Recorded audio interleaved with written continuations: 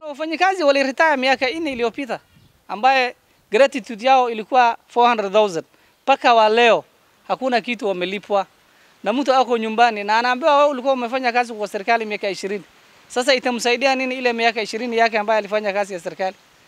Tunaomba, tunalilia kwa rais, shida ya Garissa Teachers College, kama hakuna wanaf, nini wanafunzi na wanaona college haiwezi endelea, afadhali ifungwe na sisi tupewe gratitude yetu, tuende zetu, hata kama ni kusukuma wilbaro.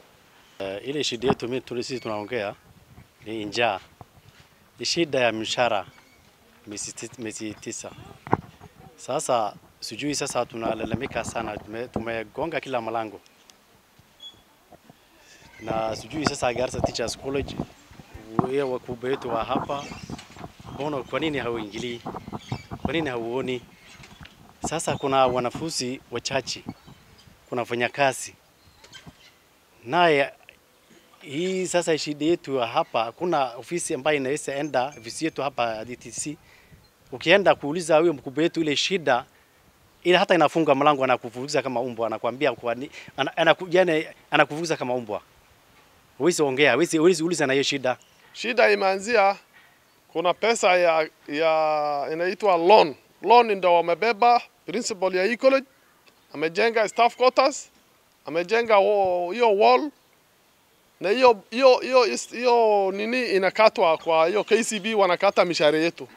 Serikali ikituma mishahara yetu, banki ya KCB inatukata. Sasa sijui ni sheria gani ya serikali inasema salary ya mtu ikatwe kwa sababu ya deni. Hiyo ndio hatujui, hatujui hiyo. na sasa ile shida yenye tunaona hapa imesidi na iko juu. Tuko na watoto, tuko na watoto wanasoma, na hao watoto wananitegemea, na hao watoto wanategemewa na mashule. Tumbo inawategemea, shule inawategemea, na hata Red B inawatutegemea. Vile tunaweza fanya ni aje? Tunashindwa. Tukienda kuuliza pesa yetu, tunaambiwa pesa ngoja.